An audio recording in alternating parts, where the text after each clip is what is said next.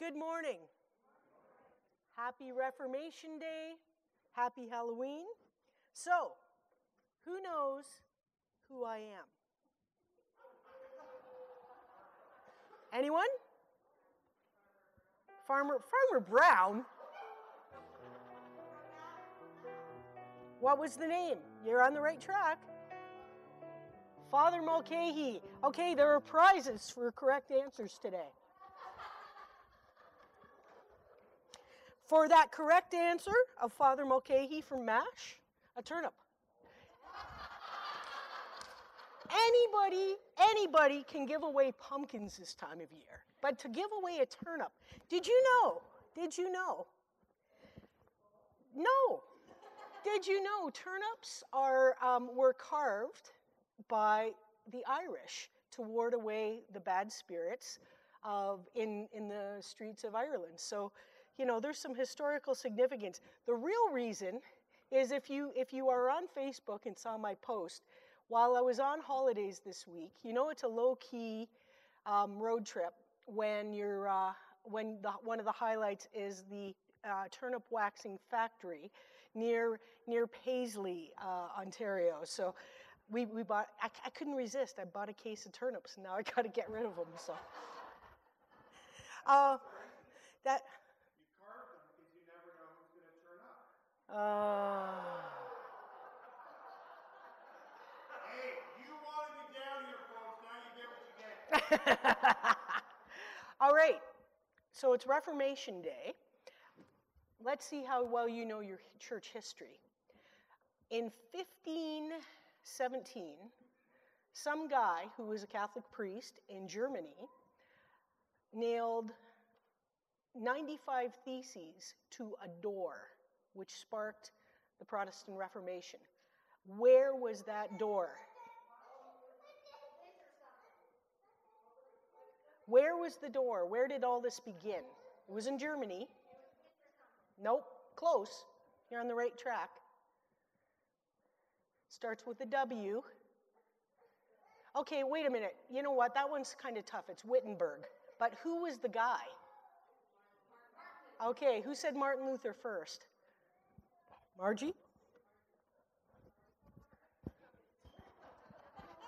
I have to say, in Scotland, the turnips were bigger. And we passed those instead of pumpkins. And we carried them door to door and said, trick or treat, smell like feet. And and as much as I love turnips, they do kind of smell like feet. So I can't believe you're giving the memo. Ah, all right.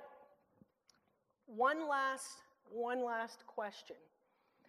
The uh, uh, the traditional church time began after that point, eleven o'clock. Do you know why? It was because of Martin Luther. Pardon me? No, not Martin Luther King, Martin Luther, the original. Do you know why? He didn't have a clock. No, that, that would be that would be a good guess though. Anyone? Think about it. I'm going to give you a few clues, and I'll come back to it at the at the uh, sermon. But think about it. He was German. Saturday night is a night to let your hair down a little. Okay, that's all I'm going to say. We'll save the last turnip for. All right, a little bit of silliness to start this morning. Um, a few announcements I'd like to share. Uh, first of all, uh, our uh, Toonie turkey over here, this is the last day, so if you've got some change in your pocket or uh, some folding money as well, pop it in there. The, all the proceeds we've raised for the month will go to the Welland Food Drive. Secondly, on two weeks from today, on the 14th, is Anniversary Sunday. We're really looking forward to a great day of uh, visiting with your former minister, uh, Chris Fickling, who's coming to preach the sermon that day, um, and his beautiful wife, Jennifer, is going to bring this, the ministry of music.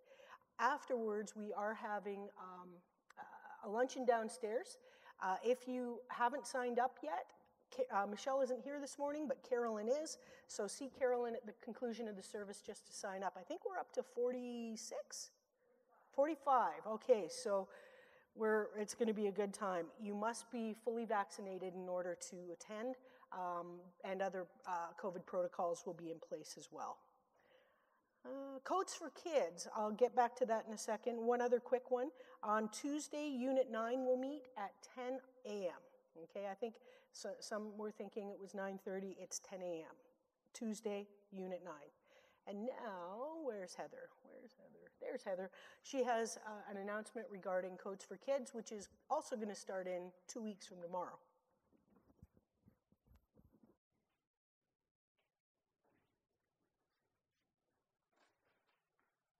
Yes, Coats for Kids. As we have for many years, I don't know exactly how many, but it's got to be over 10, probably closer to 15 or 20. Um, we have partnered with the Hope Center to deliver Coats for Kids. This is a program um, where families can obtain at no cost winter coats and accessories for their families. So it will take place in Fellowship Hall starting November 15th, as Martha indicated, through till December the 10th. It will operate in Fellowship Hall from 11 to 3. And um, coats last year uh, could be taken to either Nick's on uh, East Main Street or at the mall. Right. I don't think, I don't, yeah, I don't think they did. I'm not sure. Anyway, I'm going to confirm that tomorrow, but um, uh, there will be a piece in the paper too announcing um, the program. Um, we need volunteers. Uh, we had a lot of volunteers from the congregation last year.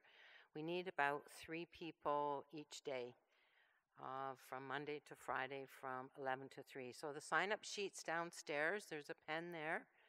Um, if you don't know what days you can uh, uh, consider uh, today, um, it's going to be posted and um, hopefully we'll have it filled by the 15th.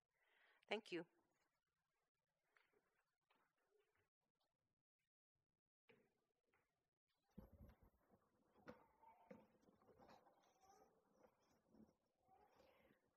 As we gather to worship God and share the work of grace and justice, let us pause to remember that in this region we live and work and worship on lands that are by law the traditional territories of the Anishinaabe and the Haudenosaunee peoples. May we live with respect on this land and live in peace and friendship with all. Let's read responsively our call to worship.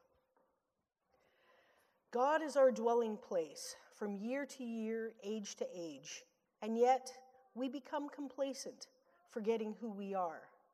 God reforms us. God's life surges forth through creation like grass that renews every morning. And yet we prefer to be dust swept away in the wind of every new idea and new fad. God reforms us. God turns to us and has compassion on us so the great work of our lives manifest Christ's glory, glorious love to the world. God reforms us.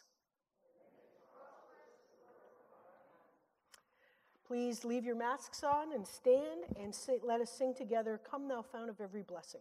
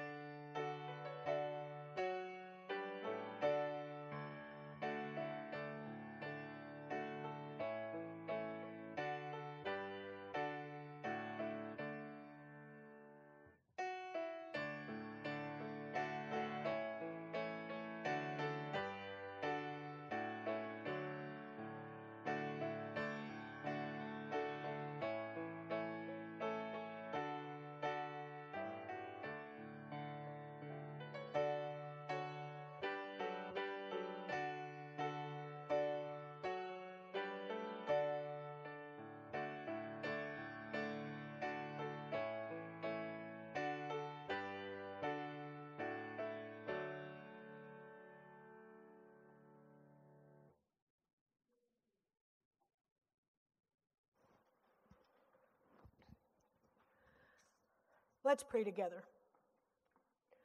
O wondrous God, 13 billion years ago, your creative spark called creation into being.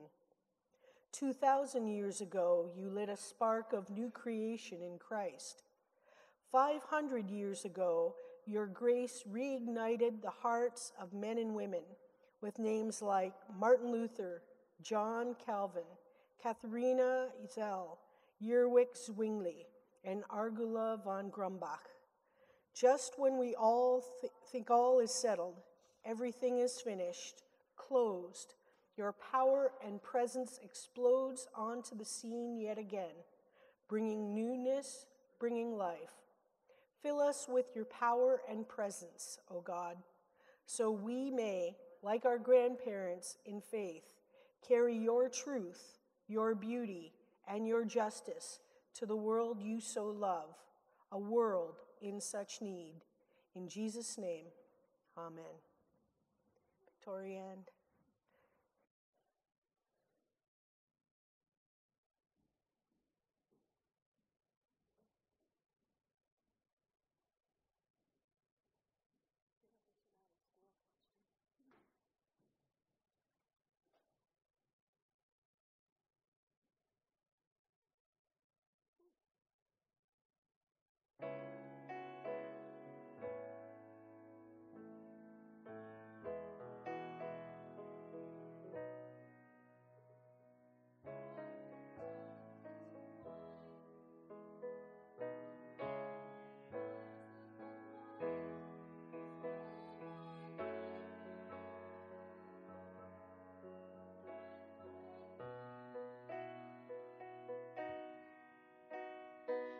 Into the darkness you shine.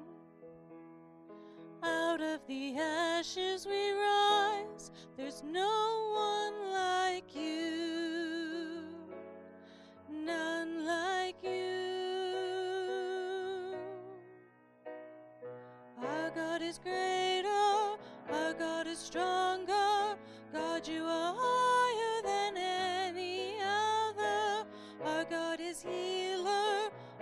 Our God, our God. Into the darkness you shine. Out of the ashes we rise. There's no one like you. None like you.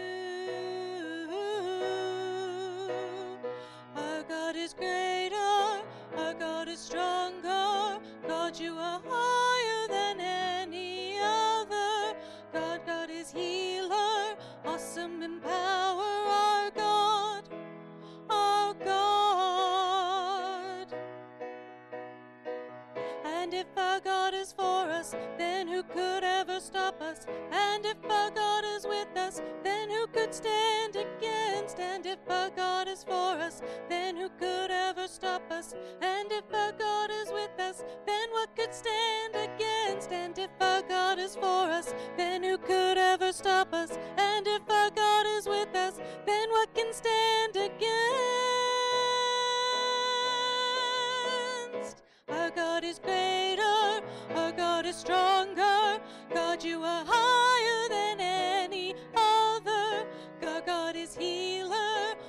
awesome in power. Our God, our God, our God is greater, our God is stronger. God, you are higher than any other. Our God is healer, awesome in power.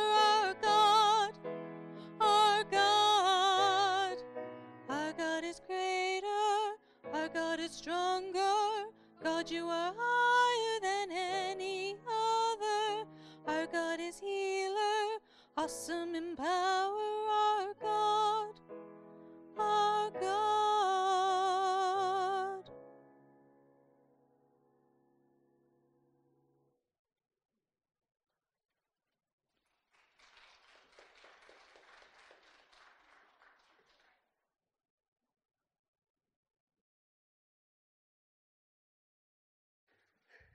Well, good morning, everybody.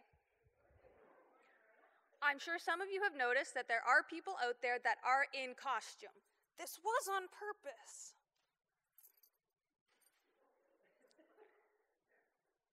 There we go. Sometimes they fall down, but there we go. I am a moose.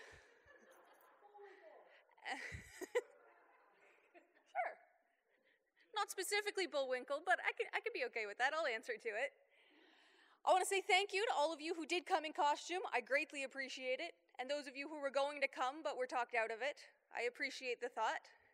Um, I thought I'd come up here today and talk a little bit about what kind of special day today is. And then Martha did most of the Reformation trivia going already. So um, I guess the other things today is special on a couple different levels. It is Reformation, where Martin Luther got up and he changed all of the rules and, and sort of made a whole new church, and that, that's what we're here for. It is All Hallows Eve, which is, according to Wikipedia, a part of the liturgy that remembers the saints, martyrs, and other deceased members of the biblical history, which is interesting. But the most important part is that it's Halloween. and what do you do on Halloween? Trick or treat and eat chocolate. And we dress up and we party. So if I could get those of you who would like to come and join me for a Halloween party, and note, not everybody can come, somebody's got to stay through the service. But come on with me, and we're going to celebrate Halloween. Sound like a plan? It's just me. You don't have to be scared. Come on, let's go.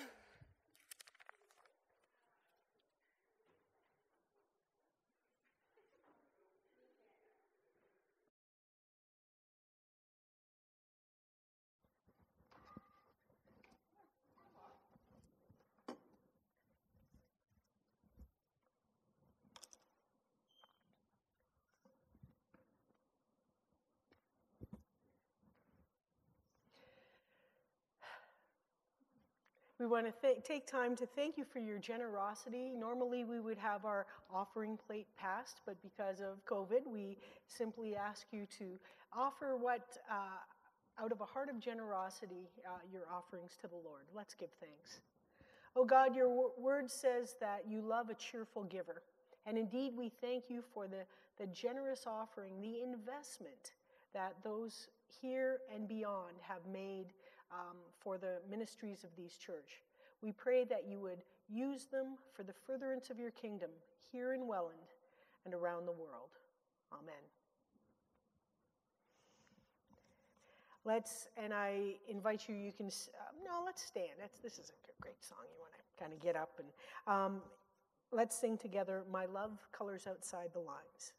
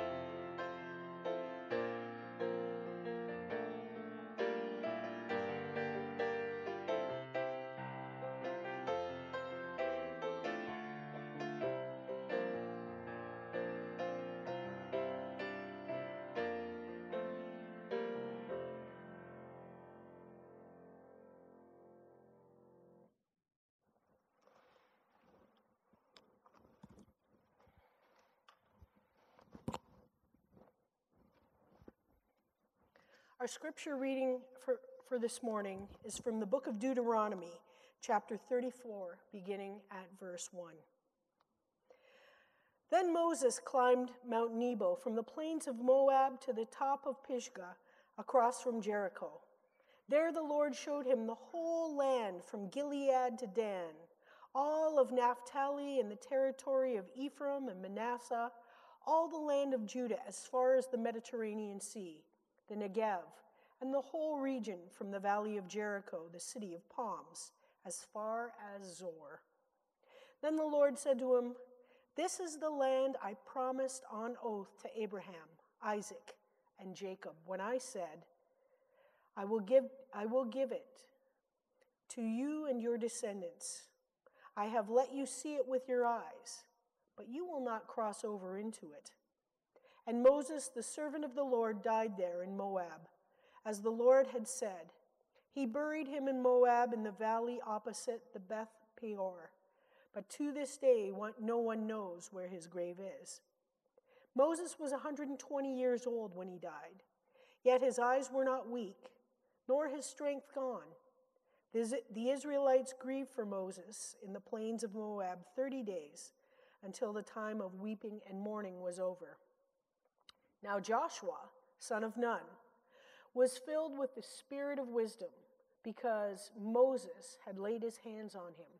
So the Israelites listened to him and did what the Lord had commanded Moses. Since then, no prophet has risen in the land of Israel like Moses, whom the Lord knew face to face, who did all those signs and wonders the Lord sent him to do in Egypt, to Pharaoh and to all his officials and to the, his whole land. For no one has ever shown the mighty power or performed the awesome deeds that Moses did in the sight of Israel. Holy wisdom, holy word.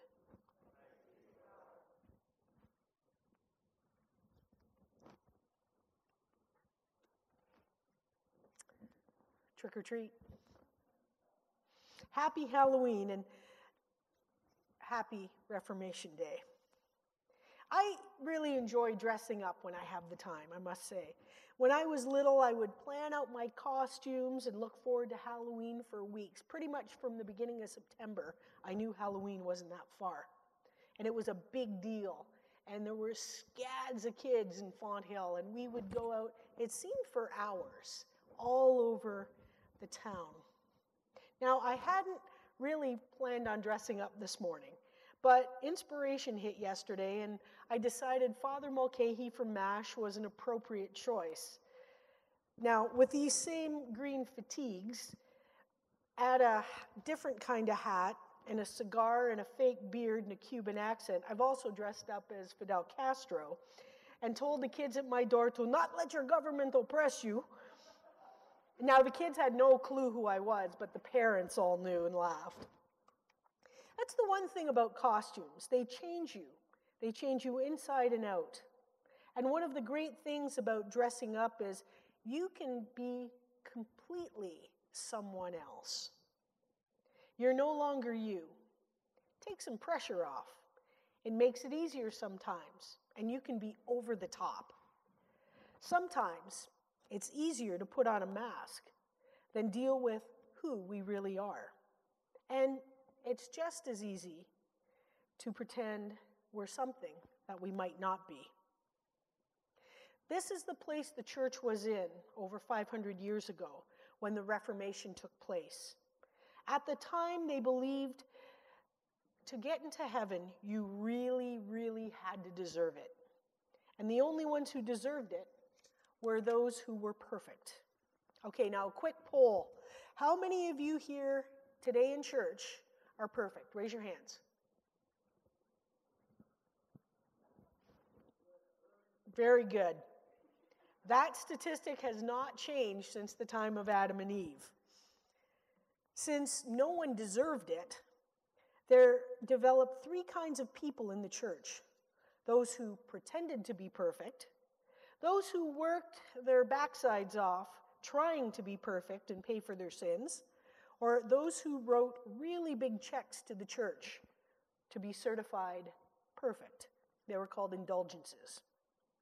Martin Luther did not pretend to be perfect, nor did he ever write a really big check to get into the church. So the category he fell into was he was the guy who worked his tail off trying to be perfect and trying to ask forgiveness for every little sin he committed. In fact, it is reported that one day when he was in the confessional, the priest said, Stop wasting my time and come back when you have real sins to confess. But Luther lived in constant fear of hell and judgment and became depressed as he failed time and time again. It's funny, things haven't really changed all that much. On our little road trip, I had breakfast with uh, a good friend of mine. We've been friends since, oh, I was a wee, a wee lass. And Sarah was one of the people who actually took me to church one of the first times and really tried to be a good influence. She was a good, good, uh, God fearing brother in Christ girl named Hagen. I think some of you worked with her dad, Ray. Um, Sarah, we talked about some of the stuff we experienced as teenagers and how there was a mission for a period of time in there in the 70s, probably into the 80s, where they tried to scare you into the kingdom. That the only, the only commitment to be a follower of Christ you would make was based on fear of going to hell. And Luther was kind of in that category. And he became depressed as he thought he was failing time and time again. But then he decided, or he began reading the scriptures, and I mean really studying the scriptures. He read from the book of Romans when Paul puts it in plain language, and he writes, There's no difference between people because all have sinned and they have fallen short of God's glory. We're all in the same place. And he read our scripture, uh, and he read this scripture 1 John 1 5 to 10. This is the message we have heard from him and declare to you God is light. In him there is no darkness at all. If we claim to have fellowship with him yet walk in the darkness, we live we live and do sorry, we we, le, uh, we lie and do not live by the truth. But if we walk in the light, as he is in the light, we have fellowship with one another, and the blood of Jesus, his Son, purifies us from all sin. If we claim to be without sin, we deceive ourselves, and the truth is not in us. If we confess our sins, he is faithful and just, and will forgive our sins and purify us from all unrighteousness. If we claim we have not sinned, we make him out to be a liar, and his word has no place in us. Verse 8, repeated If we claim to be without sin, we deceive ourselves, and the truth is not in us. Luther discovered that many people in the church were wearing masks. They were living their lives in costume, trying to hide their imperfection, trying to be something they were not perfect.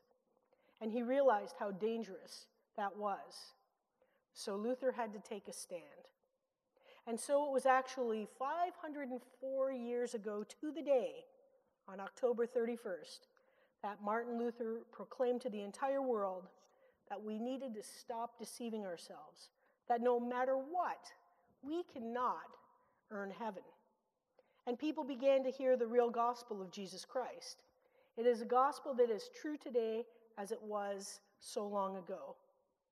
We fall down, but Jesus picks us up every single time. Now, Luther had no intention to start a new denomination. He just wanted to um, get the old one in line, to quit exploiting the poor and those who were not educated enough to read scripture from themselves. He wanted to stop the selling of indulgences to build these great edifices that probably many of you have, have visited all through Europe but know they were built on the backs of the poor who were scared into giving up their meager um, incomes. The German priest's ideas were not well received. His life was threatened, and he fell out of favor with the Holy Roman Church, all because he sought to expose the corruption of the church and free people who were not educated enough to stand up for their truth. Following the Reformation, and then stretching into the 1600s in both Europe and eventually Salem, Massachusetts, in both Catholic and Protestant churches. Another type of mask was used to hide the corruption and injustice of the church and use fear as an allegiance to both Catholic and Protestant churches. And that was the witches, or the idea of witches. The idea of a witch was created by the church to distract church corruption. So instead of aligning in solidarity against the priests and people in power, people bought into the completely false idea that women were evil. They rallied to villainize, torture, and murder innocent women. If the focus was on the witches, which really didn't exist, no one would pay attention to what was going on. It was a, a wag the dog situation with dire consequences. Uh, let's do this to distract everybody so they don't see what's going on here. In reality, in Europe and in Massachusetts, it was not witches who burned, it was women. Women who were seen as perhaps too beautiful, too outspoken, had too much water in the well. Seriously, this was one of the, one of the criteria. A woman who had a birthmark, or who were too skilled with herbal medicine, too loud or too quiet, too much red in their hair. Women who had a strong nature connection, women who danced, women who sang, or anything else really. Any woman was at the risk of burning at the stake in the 1600s. Sisters testified and turned on each other when their babies were held under the ice. Children were tortured to confess their experiences with witches by being fake executed in ovens. Women were held under water, and if they could float, they were guilty and executed. But if they sank and drowned, they were innocent. Women were thrown off cliffs and put in deep holes in the ground. It was not witches who burned, it was women. So, why do we look back in a cursory way this morning and consider these events today in 2021? Well, I believe we need to be in a mode of constant reformation. Martin Luther exposed corruption and heresy and offered a way of grace to people who were looking for lives of peace and faith. We need to be diligent in calling out the church when it fixates on an issue in order to conceal the oppression and wrongs that enslave God's people and people in general. We need to regularly pause and reflect on where our weaknesses might lie. And then we need to name it, and then allow God to heal and reform us. And this should happen both for us as individuals, but also collectively as the church. What are Reverend Martha's weaknesses? I'm kind of glad Michelle isn't here today. She might raise her hand. Where does Central United need to focus? How does the United Church and the worldwide church doing regarding corruption and sweeping things under the rug? And are we willing to call them out? I confess to you, in the last year, I'm getting a little weary of defending the church. And I don't mean this church. I mean the church when I see relatives and friends have nothing but disdain for the lack of compassion and truth, particularly in regards to residential schools. It's not us, some of the other denominations, but the church gets painted with the same brush. A cousin of mine, a while back, a number of months ago, had there was a, a meme going around Facebook that said, "Tax the church, tax the churches to pay for the searches." And I get it. I get the anger and the frustration and the feeling of injustice that they were experiencing. So I responded, I said, Well, you could do that. And I typed it. However, I know what our church does. And I think taxation would cause a number of churches to close. And all the good that churches do in the community, things like Harvest Kitchen, supporting the food bank, Coats for Kids, et cetera, et cetera, would cease. And the amount of money the government would have to spend to replace those programs, and we all know they wouldn't be as good because it's the government, um, would cost us millions more. It's called the halo effect. So, yeah, you could do that, but what would you be losing at the same time? I think we need to be diligent. We need to be self reformers and keep our eye on what's going on in our own personal lives, including me, and the life of our churches. Tonight, children all over the community will be dressing up in costumes and going to door, uh, door, door to door and saying trick or treat. So, as we have come to the church today, we need to know that we don't need to have any costume to receive what God has done for us. So, sh- shed your metaphorical costume, take off your mask of religious disguise. Come as you are to Christ and receive the treat that heals and transforms. Amen.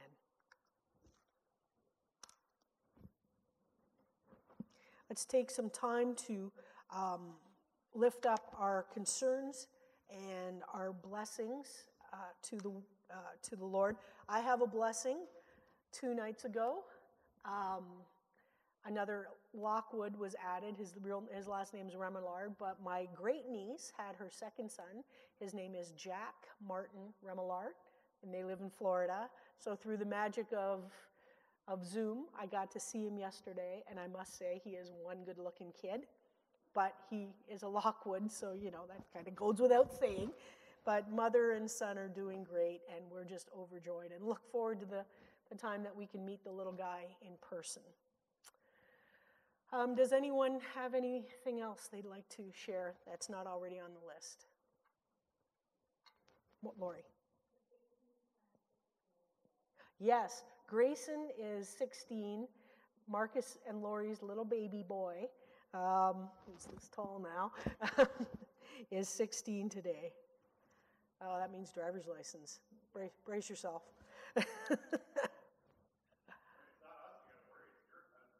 yeah, I know. Uh-huh. the Johnson family.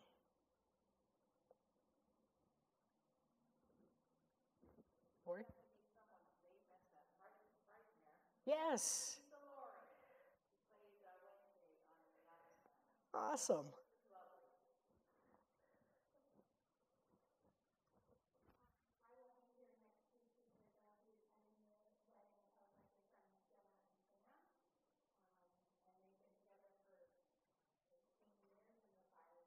All right.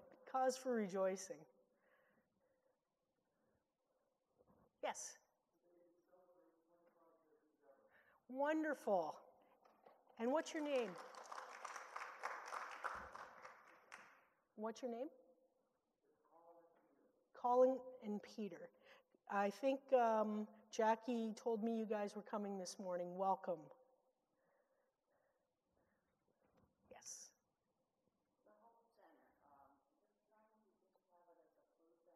Mm-hmm. Okay.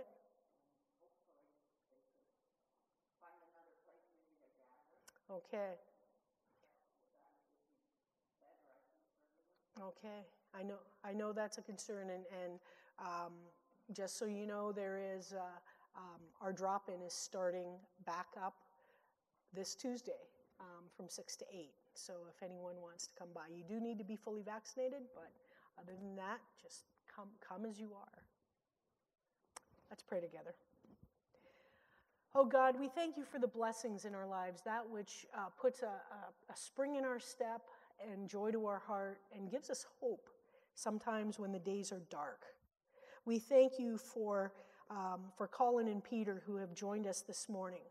We thank you for 25 years of commitment and, and love, and we pray your blessing upon them. We pray for Jenna and Sam as they next week make that last step of commitment in marriage. And we ask that they would have a wonderful day of celebrating, of celebrating their love, of um, sharing that with their friends. Lord, we pray for um, those milestone birthdays uh, that a few of us have hit this year. And as Grayson turns 16 today, uh, we ask for your blessing upon this young man as he um, figures out what he's going to do after high school, uh, has the possibility of getting a driver's license now. And uh, we ask that you would guide and direct his steps. May he be a blessing to those around him at school, at home. And we, we thank you for his uh, presence in our lives. Oh God, we pray for the organizations and the structures that um, encourage people. We think of the Hope Center. And COVID has changed us all and made us uh, sometimes restrict things that we really don't want to do, but we have to for the protection of others. We thank you for their ministry, their food bank, uh, the, ch- the opportunity to get a hot meal there every lunchtime. We pray that you would give the, um, the leaders and the, the staff and the board wisdom as to how to navigate um, as they have pulled back a little, um, but when the right time would be to become a gathering place again. Oh God, we play, pray for Sydenham Heritage United Church. And again, we thank you for churches because they do so many things well. And we ask that you would bless this congregation, their leadership, their minister, as you would bless us, not for our own internal inward looking, but for open hands and open arms, reaching out to others. We pray that those who need that social interaction and gathering would come on Tuesday night. We pray for the leadership of our drop in, for Sharon and, and Lori and Will and Wendy. Oh God, we pray that through these ministries, many would come to know your love and your acceptance and your inclusion. For others who have their own challenges, whether it be um, physical or mental or grief, um, you know, you know what their needs are. So we pray for Sean and Sarah and Doug, for Marion and Dave and Pam, for Karen and Irene and Roland, for Jim and Mike and Steve and Kent, for Barbara, Margaret and Kathy and Patty, for Kathy and Jack and Kristen and Beate. God, we ask that you would be with these families. We pray that you would be with the Johnson family as well. We thank you for the fun that Lori had as she was able to meet Lisa Loring. And it's kind of a thrill when we meet famous people, but a good reminder, too, that they're people just like us. We think the same of our politicians, and we pray for all those who are in leadership and who are making decisions for the betterment of our culture. We pray for Prime Minister Trudeau, for um, Premier Ford, and for Mayor Campion.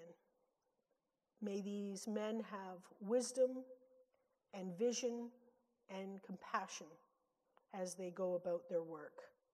Lord, we thank you for new family members, and we thank you for this little life that has come into the world in Florida. We pray your blessing upon Jack Martin Remillard, and thank you for Haley and for Nathan and for his big brother Roman. We pray that you would bless this family with health and that they would see these little boys learn the lessons of love and care and inclusion and compassion. May we be models to all the children of our lives. And I think of little Weston and Ziena and Dakota, who are downstairs with Victoria right now. And we ask, oh God, that we would be worthy role models of kindness, of care, so that children in our lives would learn these lessons and continue on this legacy of being a follower of Christ. And Lord, we thank you for all that binds us together our common mission and purpose, our common love and worship, and our common prayer Our Father, who art in heaven, hallowed be thy name. Thy kingdom come, thy will be done on earth as it is in heaven. Give us this day our daily bread, and forgive us our trespasses, as we forgive those who trespass against us. And lead us not into temptation, but deliver us from evil. For thine is the kingdom, the power, glory, forever and ever. Amen. Let's stand together as we sing our closing hymn, um, Day by Day, which is not in the hymnal, but I think it's one that you'll know.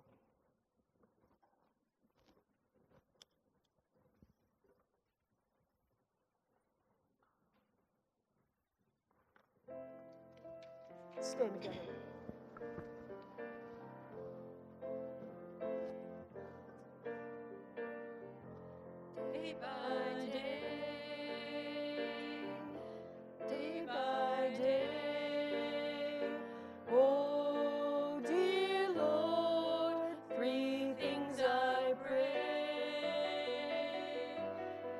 See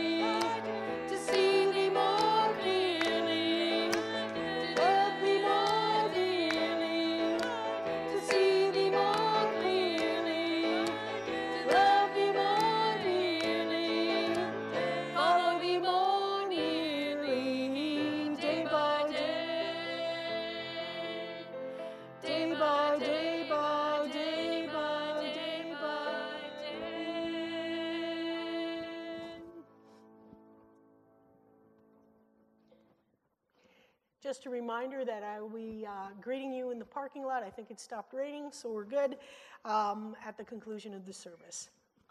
And now receive this blessing. To him who is able to keep you from stumbling and to present you before his glorious presence without fault and with great joy. To the only God, our Savior, be glory, majesty, power, and authority through Jesus Christ our Lord, before all ages, now and forevermore. Amen.